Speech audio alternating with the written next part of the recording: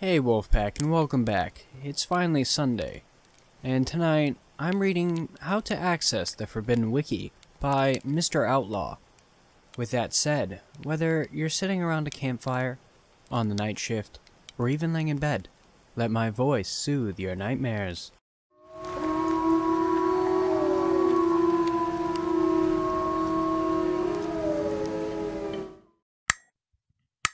We all love Wikipedia, don't we? A seemingly endless source of information, all consolidated on a well formatted, visually pleasing website. And despite what your teacher might tell you, I can guarantee you that just about nobody is trying to rewrite history pages with false information. Nobody has the time for that, nor does anybody care enough to do it. Beyond research and general curiosity, there's a ton of fun stuff you can do on that site.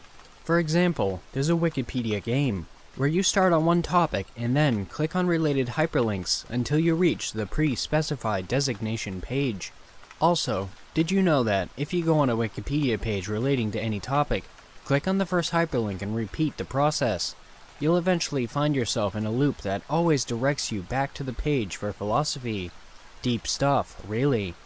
Now, that's all fun and whatnot, but did you know that there's something else you can do on Wikipedia?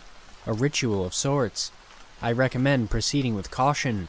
There's a certain level of risk involved when pursuing something like this. Would I recommend it? Not really. So, why am I talking about it at all? Well, I'll explain that later. This is what you'll need a device with internet access, preferably something mobile, like a laptop or a smartphone. Make sure that none of your personal information is stored on this device. If it's a smartphone, take out the SIM card, delete all your contacts, social media apps, photos, etc. This is not an optional step. Internet access, preferably public, like a library or a large crowded coffee shop. Obviously not so feasible right now, so I'd wait until the virus dies down. You can also just use your home internet, not recommended though. A weapon, bodyguard, vehicle. Optional, but also not at the same time. You'll only need these things for reasons I'll explain later, but more often than not, you won't be needing these things at all. 15 out of 100 times, I'd say. Still, better safe than sorry. Try and pack some heat. Here's what you'll need to do. Sit down at a library, coffee shop, university campus, or any place with public Wi-Fi. Start off by visiting an extremely popular wiki page. For example, Michael Jordan, World War II, Elon Musk, Google, etc. Now, here's where you gotta exert a bit of brain power. You're gonna have to traverse from this popular page to an obscure page that has hardly been seen at all in comparison. But don't go searching up something like creepiest Wikipedia pages or most bizarre Wikipedia pages and try to get there. If those pages are on a list, then they've probably received a lot of traffic. You'll need to find a page about something truly unknown, like some unheard of Romanian folk singer from the 1960s who's only released two songs before dying in their 30s or something. Doing this is harder than you might think. The page truly has to be something that very few people are aware of, or would bother to learn about. Once you've found a page that you deem suitably obscure and unseen, you'll have to click on the Wikipedia homepage, find another popular topic, and repeat the process. Maybe three, four, or even five times at the very max. But don't worry about clicking pages endlessly. You'll know that you've done it right when you come across a seemingly blank page. The wiki symbol and dark side options will still be there, but the page itself will be devoid of any pictures or text, except for the title of the page at the top, that is. It'll say Information Limit, followed by a string of numbers. Remember that string. You'll need it later. Also, don't close the browser. You've done it. The ritual has officially begun. At this point, you'll have to leave the location you accessed it at. For the love of God, just don't go back into your house.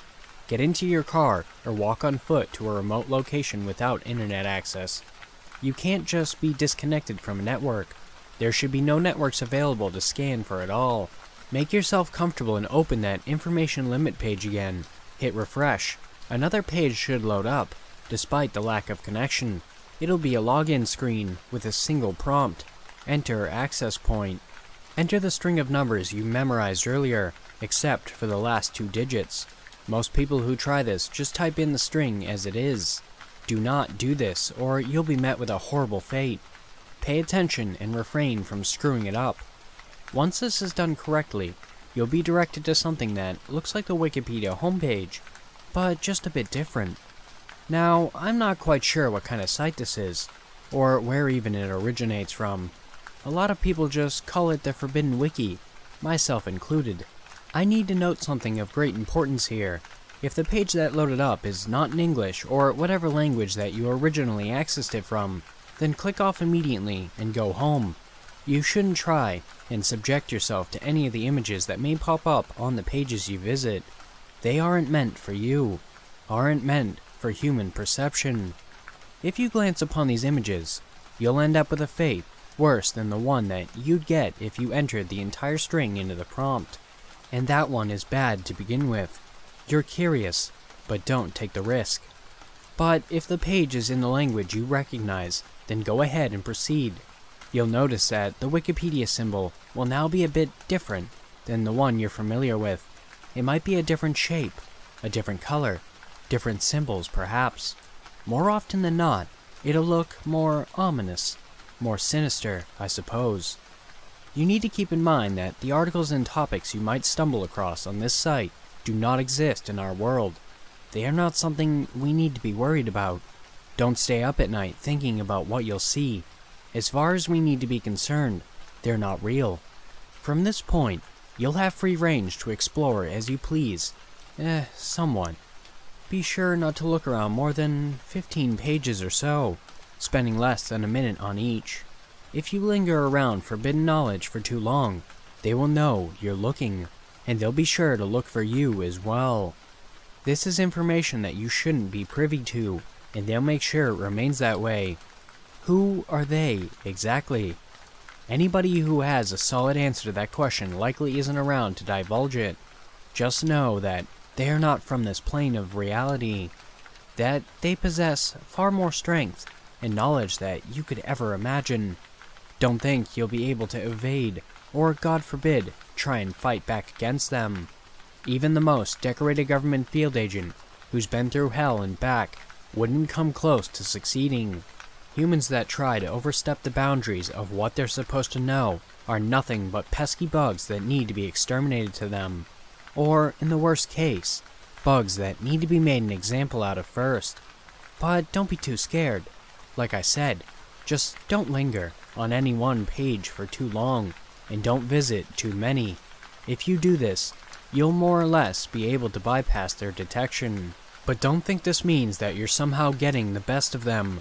You'd need to read and analyze these forbidden articles for upwards of hours before understanding what they truly mean and the ramifications of their existence in the multiverse. With less than a minute of exposure, you'll only be able to gain a surface level understanding of the subjects at best, and they hardly care about that. However, there is a way to legitimately bypass their detection, enabling you to look at the articles for a longer duration of time. But these involve complicated strategies that require extensive knowledge in both programming and arcane occult rituals. And even then, the risk is still astronomically high. Again, not recommended. You might be wondering why you can't just take pictures and look over them afterwards for however long you want. Well, I suppose you could, but it doesn't make any difference.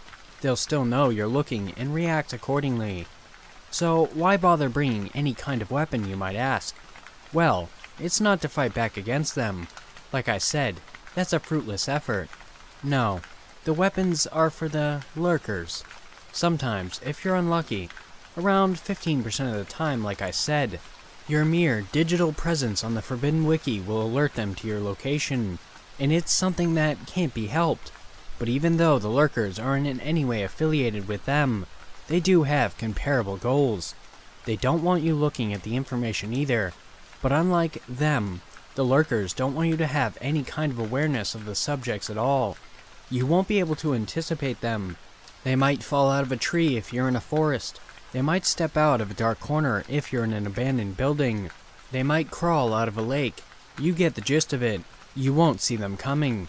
Some will be more humanoid in appearance, some will look more unfamiliar.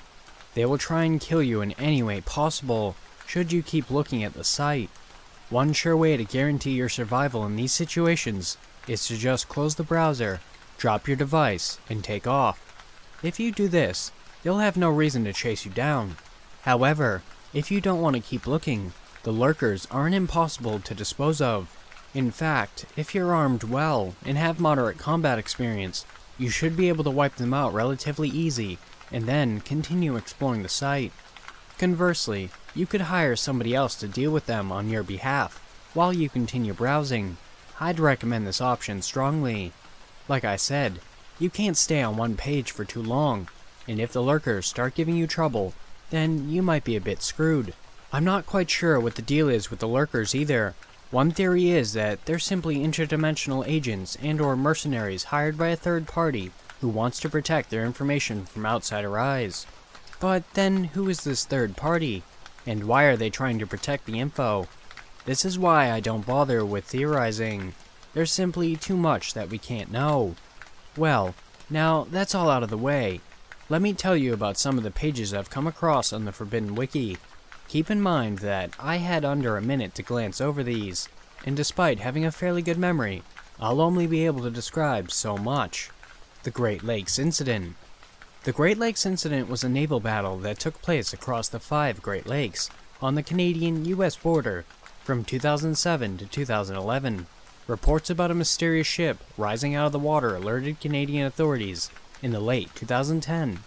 The belligerents were of an unusual nature, able to withstand conventional weaponry, possessing multiple heads, considered in between amphibian and humanoid, finally resolved using firebombs and chemical weapons. Inhabitants of the Bermuda Triangle.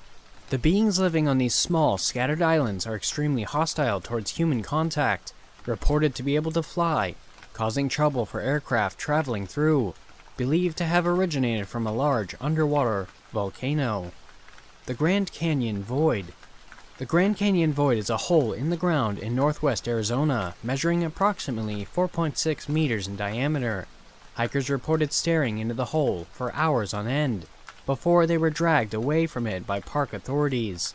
An average of 12 hikers were reported to have jumped into it during the month of March, with their bodies turning up in different countries. Mr. Dream. Mr. Dream is an Australian DJ from Perth. His self-proclaimed style is known as internal trance. People at his live shows have been reported to experience moments of incredible euphoria before disemboweling each other in the crowd. The manhunt is ongoing, with his latest show reported to have occurred in June 2019 at an underground venue in Paris. The Acroyd Mansion. The Acroyd Mansion is a large estate located on the outskirts of Houston, Texas, belonging to the Acroyd family, famously known for being the founding members of the cult known as the Dawn of the Collapsing Moon. 77 attempts have been made to infiltrate the house, resulting in 587 officer casualties. Only one known member of the Aykroyd family has been neutralized. The members are known to conduct rituals involving biological transformations of the human body. These creatures react in accordance with lunar cycles, exhibiting the most violent tendencies when the moon appears early in its first quarter. Channel 51 News Channel 51 News is a controversial news station that broadcasts on Channel 51 between 3 and 4 a.m. The reports represented on the program have been considered nonsensical and disturbing to the viewers watching. Sometimes, the hosts have reported incidents that have not occurred up until that point, only for these incidents to transpire one week after. As was the case with the Tokyo Massacre, the location the channel broadcast out of remains impossible to pinpoint. As hard as it may be to believe, these are some examples of more normal pages on the wiki. Some of the other ones I've seen are downright screwed. The man inside your head. The man inside your head is an arcane entity that exists within your subconscious. His intentions are malicious, and a good portion of your mental capacity is used to suppress him from escaping at any given time. Don't let him escape. Eye in the Sky The eye in the sky is a large eye measuring approximately 4,400 meters in diameter that appears in the sky every so often, usually during violent storms. When it appears, it is advised not to look at it under any circumstances. The only exception to this rule is for those who have been forsaken and absolutely need to. You'll know if you need to. The corner of the basement. The corner in your basement is that one dark spot in your basement tucked away in that far corner. No matter how much light you shine on it, it will never illuminate, and you'll never know what's lurking within it. You better figure out what it is soon. The Snowstorm Angel. The Snowstorm Angel is that figure you see in your backyard during heavy snowstorms. You'll think your eyes are playing a trick on you, and that your senses are somehow being distorted by the snowfall. But make no mistake, it's there. People often assume its nature to be benevolent. Given its name, the assumption is incorrect. These kinds of articles were always shorter in length. In fact, what I described above pretty much represented the entirety of the text. These articles all included pictures as well. I regret ever looking at any of them. You might be wondering why I'm telling you about the Forbidden Wiki at all, along with how to get there. It's contradictory. As contradictory as it may seem, this is a precautionary tale. Most people will read this and believe it to be fake, or simply lack the time, energy, or motivation to go through with it. Good, be one of those people. But then, there's the people who don't fit that bill. The thrill seekers, so to speak. These are the ones who will look for it no matter what. Eventually, they'll find another set of instructions written by somebody else, but one that might not include a proper warning, one that doesn't tell the whole story. I am here to give you that warning. Don't do this. I thought I was safe just browsing around. I followed the rules. I hired hitmen off the dark web to accompany me in case the lurkers showed up. I always made sure to not overstay my welcome on any of the pages in order to keep myself hidden from them. In reality, the Forbidden Wiki is a strange and complicated place. You may think that you've experienced enough, and that you figured out all of its tricks, but don't underestimate it. We were never meant to lay our eyes on something like this. I've stumbled upon a particular page the last time I paid a visit to the site. This was the page that ruined everything. The title was simply a phone number, a phone number that contained my area code. Here was the description. I remember this one verbatim. This is a number that will be calling you in a few days. You are obligated to answer his call and follow his instructions. If you refuse, he will come to you. You will only have two chances. Here's the thing.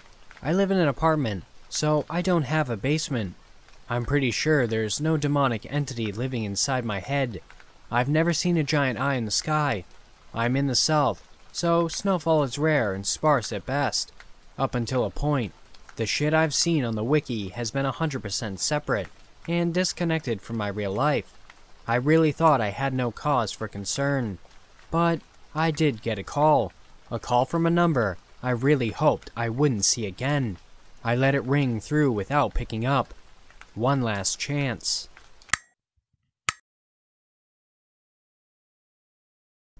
Thanks for listening, Wolfpack. If you want to submit your own story, the links for my email and subreddit will be down below. I've also created a Discord, so if you want to join that, the link will be in the description down below as well. Don't forget to like, share, and subscribe. And with that said, have beautiful nightmares, and I will see you next time.